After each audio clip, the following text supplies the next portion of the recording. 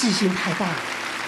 沙老师说你两句，马上就嘟着嘴又转过身去了。对，气的呀，这个胸口呼呼的，谁还不是小公举呢？是吧？你今天来，其实无非就是觉得他不懂怎么做男朋友，让我们来帮你教教他怎么做男朋友。怎么教他做男朋友这件事情，我们要分开来看。女孩子想要男朋友做的事儿，和很多男生觉得重要的事儿不同。你无非你说点甜言蜜语呀，你哄哄我呀，你让我感觉到你是爱我的呀，你多说说说爱呀。其实他就是一直在向你召唤，你来骗我呀，你来骗我呀，你咋还没学会骗我呢？不就是这样吗？姑娘用耳朵谈恋爱很常见，就是我靠听甜言蜜语谈恋爱很常见，但是是不是我只用听甜言蜜语这件事情就可以了？他没有来骗你，但我觉得他有一件事情做很好，他一直觉得学习最重要。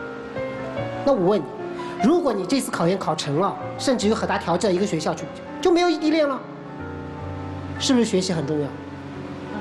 你没考成，他在努力的帮你。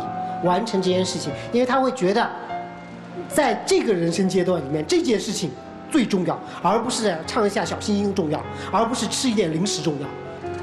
你你说，你送我礼物是吧？不在于价值多高，不在于什么，你关键是在于要有心意，是吗？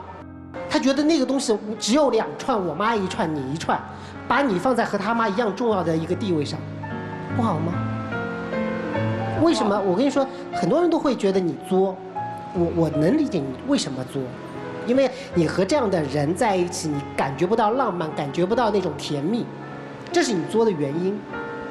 那换一个思路和角度上来看，会不会是这个男人他给你的安全、甜蜜和幸福是他认为的那种方法？就比如说他帮你补习，跟你说你这个东西不对，那个东西不对，那他拼命帮你补习，最后让你那个什么过就过了，对吧？所以。这个男生是不会当男朋友，还是不想当男朋友是不同的。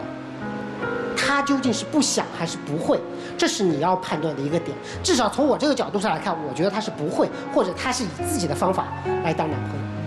如果你真的要浪漫，我觉得像他这样的男生，就是偏一条筋的男生，你给他规定，不要让他猜。你不想要分手的这个结果，就不要往分手那条路上走，好吗？好，谢谢。